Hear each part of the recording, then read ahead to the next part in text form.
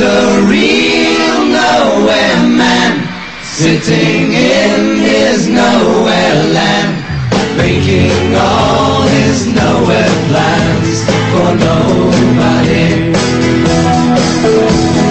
Doesn't have a point of view.